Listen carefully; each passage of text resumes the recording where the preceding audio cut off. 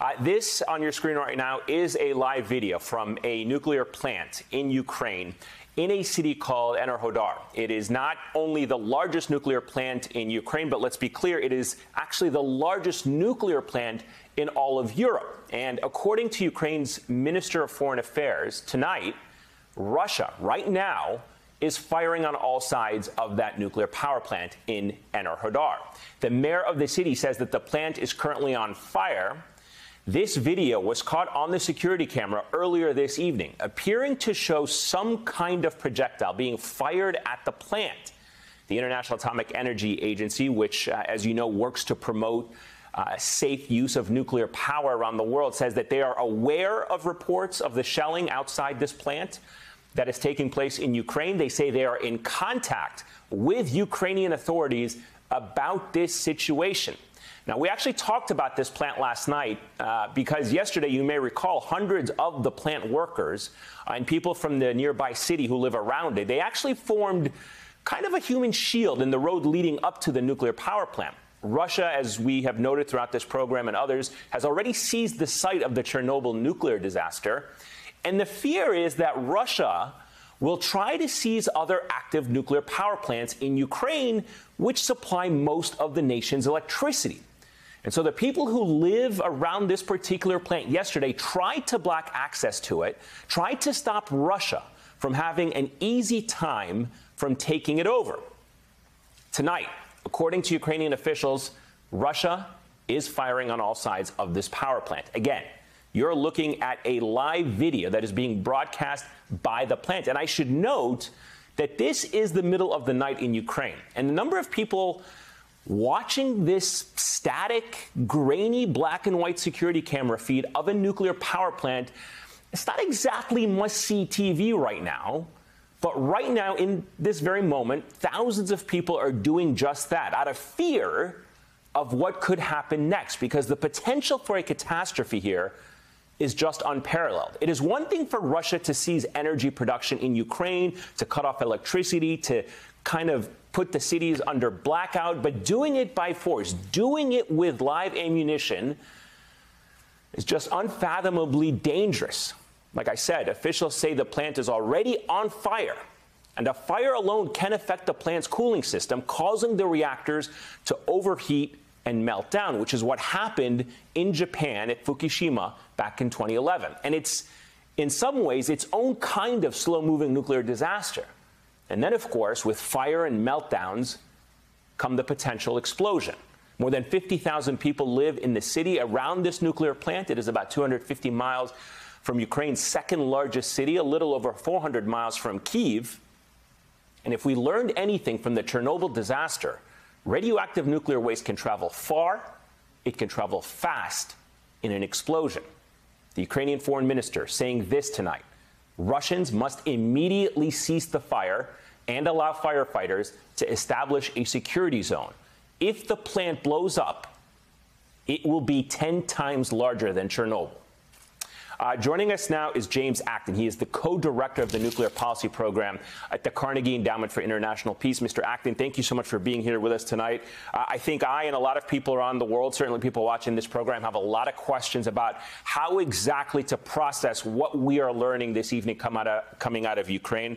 Instinctively, a lot of people are going to be concerned what threat does a fire like the one we just heard about pose to a plant like this?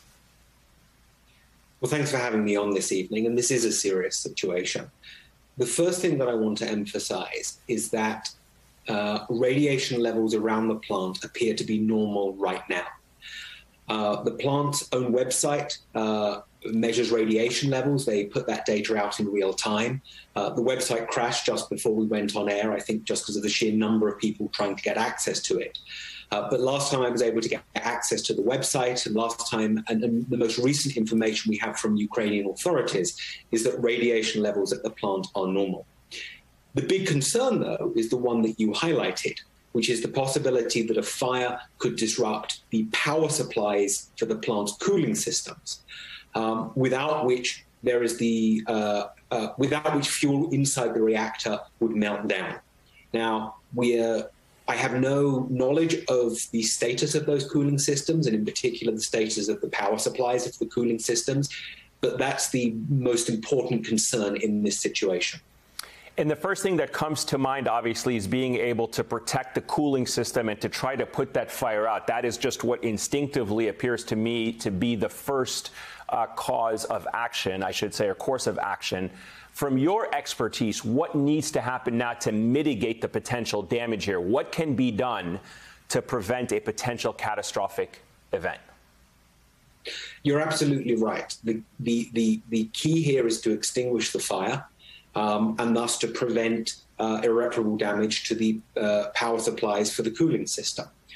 Um, the concern that I've always had, uh, I mean, had since the beginning of this falling war, um, is that in the event that there were an accident at a nuclear power plant, such as a fire, that firefighters wouldn't be able to get to the plant uh, partly because they're so busy in other activities, and I'm sure this is a priority for them, but also because they're in a war zone. They can literally be shot by Russian forces trying to get to the plants. Ukrainian authorities have said that has happened. Um, so I very much hope that firefighters have been able to get to the plant and have been able to extinguish the blaze. Uh, I have no, I have no information on the status of the blaze at the moment, uh, but you're absolutely right that it's getting firefighting uh, equipment and the firefighters to the plant um, um, that's, that's, that's the most immediate priority in this situation just because you have much more, um, you know, information and understanding of how this works, could an attack like this have the potential to drain the pools in which the spent fuel is stored um, at these plants? Can you tell us why that would be so dangerous and what the potential damage could be here? I mean, we heard the Ukrainian foreign minister describe this plant by saying it could be 10 times worse than Chernobyl. Can you put that in perspective for us? I'm not sure if you're aware about this plant and in terms of its output, just how realistic that would be. So, in terms of um, people are naturally uh, going to Chernobyl as an example here for obvious reasons. Um, the more relevant example is Fukushima. Um, that is uh, uh, that would be a very uh, uh, one of the worst case scenarios from here. I'm not predicting that we are going to end up with a Fukushima-like accident, um, but that was a meltdown caused by a complete loss of cooling in the plant. Uh, in that case, uh, it was a tsunami that caused all of the uh, loss of cooling in the plant. Uh, in terms of spent fuel, um, I think it is extraordinarily unlikely uh, that the kind of weapons that have been reported to be used around the plant uh, would have the capability to um, damage the spent fuel pools. Um, but if hypothetically those pools were to be damaged and were to drain, you have a very typically you have a pretty large amount of spent fuel sitting in those pools uh, from uh, all of the time the reactor has been in operation. Uh, without cooling, there would be a serious uh, uh, risk of that fuel melting down, potentially releasing extremely large amounts of radiation. I want to emphasize here that nothing I have seen tonight um, in terms of the um, reports of the weaponry used around the plant makes me think there is any likelihood of a spent fuel pool accident. Um, rather, my, my, my, my bigger concern here is about the fuel currently inside uh, the reactors and keeping that material cool. Mm. No, I'm, and I'm uh, very appreciative that you're able to provide that uh, perspective and context for us about what concerns you. I think some people who are watching this are going to be asking a similar question to what we asked just a couple of days ago when Russia was advancing on the site of the Chernobyl nuclear disaster, which is what would happen if Russia seized Ukraine's power grid and was able to cut off this nuclear power plant's access to it. Is that something that you're worried about? Because the, the assumption that is made by some analysts is that Russia wants to control the power that runs throughout the entire country as another pressure point to apply to the people of Ukraine in being able to, for lack of a better word, get their surrender in this conflict. There's a very serious risk there. Nuclear power plants are not isolated islands that are entirely self contained. Um, they require, we've already talked about the need, in this case, for firefighters to be able to get there. Um, the cooling systems, uh, if a reactor is scrammed, if a reactor is shut down, uh, and I assume that the three reactors that were operating today have now all been scrammed as a result of this accident. um, they require power to cool themselves. Uh, ideally, that power comes from a nation's electricity grid. Uh, one of the concerns about a fire is that it can dist- uh, uh, uh, it can break the power connection into the plant.